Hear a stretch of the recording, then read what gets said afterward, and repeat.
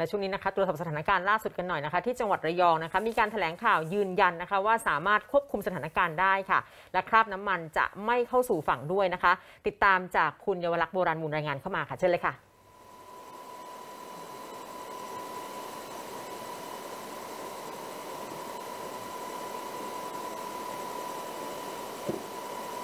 ค่ะ คุณสุทธิวัฒน์คุณวรรณสิริคุณชุติมาคะการนิคมอุตสาหกรรมแห่งประเทศไทย และหน่วยงานที่เกี่ยวข้องก็ขอให้ประชาชนมั่นใจนะคะว่า น้ำมันที่รั่วอยู่ในทะเลตอนนี้จะไม่ถูกคลื่นซัดเข้าฝั่งซ้ำรอยปี 2556 ค่ะ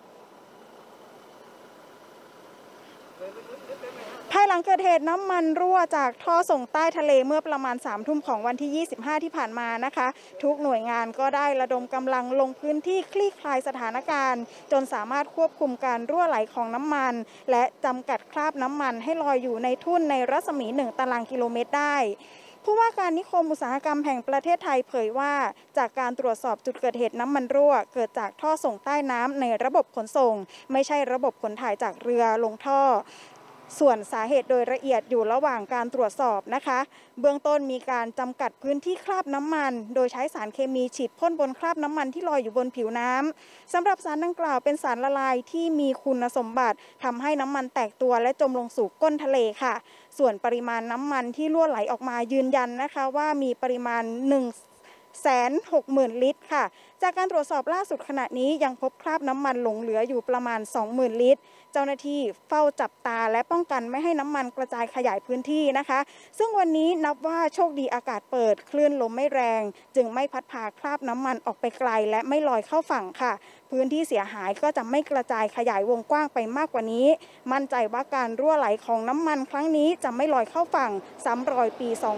2556 ค่ะ ในส่วนของการประเมินสถานการณ์นั้น เราเห็นว่าพื้นที่ที่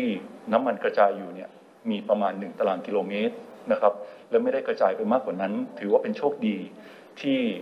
วันนี้สภาพอากาศค่อนข้างดีนะครับท้องฟ้าเปิดแล้วก็ไม่มีลมแรง คลื่นก็ไม่แรงนะครับ ในส่วนของลมนั้นเราทราบว่าเป็นลมที่พัดจากตะวันตกเฉียงเหนือ ไปทางตะวันออกเฉียงเหนือ แต่ว่าคลื่นเนี่ย พัดจากตะวันออกไปทางตะวันตก เพราะฉะนั้นมันจะต้านกันอยู่บ้าง เลยทำให้ตัวน้ำมันนั้นไม่ไม่ได้ลอยเข้าฝั่งด้วยอัตราที่เร็วนะครับ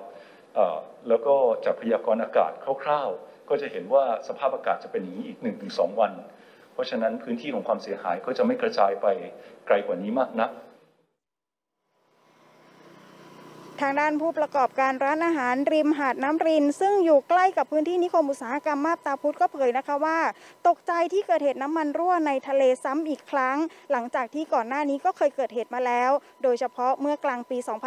2556 ที่น้ำมันดิบรั่วในทะเลเกาะเสม็ดนะคะทำให้มีคราบน้ำมันบางส่วนถูกคลื่นซัดขึ้นมาบนชายหาด พร้อมกับกลิ่นเหม็นฉุนนะคะ กว่าจะกำจัดหมดไปได้ก็ต้องใช้เวลาหลายวัน จึงกังวลว่าจะมีคราบน้ำมันถูกคลื่นซัดมาที่ชายฝั่งอีกครั้ง ซึ่งจะเป็นการซ้ำเติมการท่องเที่ยวที่ทุกวันนี้ก็ซบเซาอยู่แล้ว ให้ซบเซามากขึ้นไปอีก และที่ชาวบ้านเป็นห่วงอีกเรื่องหนึ่งก็คือ ทรัพยากรในทะเล โดยเฉพาะปลาขนาดเล็กตามแนวชายฝั่งค่ะ ก็กลัวเหมือนกันนะคะกลัวเหมือนกัน กลัวมันจะเข้าฝั่งกลัวเหมือนกันนะคะถ้ามันเข้ามาแล้วเนี่ยมันจะกระทบเรายังไงบ้างก็กระทบก็เพราะว่านักท่องเที่ยวก็ไปเดินเล่นชายหาดไม่ได้มันก็จะติดติดเท้าติดอะไรมา อาบน้ำมันก็อาบไม่ได้ เล่นน้ำก็เล่นไม่ได้ ก็กลัวว่าจะทำให้นักท่องเที่ยวไม่มาด้วย ใช่ แล้วก็ยิ่งกระทบ เพราะว่าทุกวันนี้ก็เงียบอยู่แล้ว แต่ที่นี่ลุงกล้วยกล้วยนั้นมันจะไหลมาตามฝั่งชายทะเลนั่นน่ะกลัวเพราะปลามันตายมันหลายเที่ยวแล้ว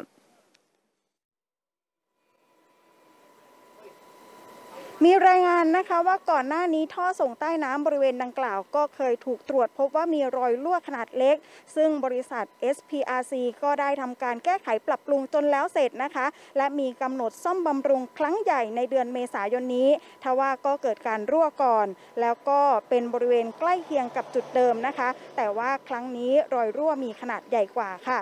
อย่างไรก็ดีทางบริษัทยืนยันนะคะ เหตุการณ์นี้ไม่กระทบต่อการจัดหาน้ำมัน เพื่อรองรับการใช้ของประเทศอย่างแน่นอนสำหรับภาพรวมประเทศไทยมีกำลังการกลั่นน้ำมันประมาณ 1.25 ล้านบาร์เรลต่อวันนะคะ ในส่วนของโรงกลั่น SPRC มีกำลังการกลั่นประมาณ 175,000 บาร์เรลต่อวัน โดยขณะนี้การผลิตของโรงกลั่น SPRC ยังสามารถดำเนินการได้ตามปกตินะคะ และหากมีกรณีที่มีเหตุไม่สามารถดำเนินการผลิตได้ ก็สามารถเพิ่มการผลิตของโรงกลั่นที่ไม่ได้รับผลกระทบ หรือนำเข้าน้ำมันสำเร็จรูปเข้ามาได้ค่ะ และจากการพูดคุยสอบถามเจ้าหน้าที่ผู้ปฏิบัติงานนะคะ ทราบว่าคราบน้ำมันที่ลอยอยู่บนผิวน้ำในขณะนี้มีลักษณะเป็นฟิล์มบางๆ ซึ่งง่ายต่อการขจัดนะคะ และเมื่อช่วงบ่ายที่ผ่านมานะคะ ปริมาณน้ำมันที่ลอยอยู่ก็อยู่ที่ประมาณ 20,000 ลิตร เจ้าหน้าที่จึงคาดว่าจะสามารถขจัดได้ภายในวันพรุ่งนี้นะคะ แต่หากว่ามีอุปสรรคจากปัจจัยของคลื่นลมนะคะ ก็ คาดว่าการกำจัดนี้ก็จะทำให้หมดไปได้ภายในวันที่ 30 มกราคมนี้ค่ะ คุณสุธิวัฒน์คุณวรรณสิริ คุณชุติมาคะ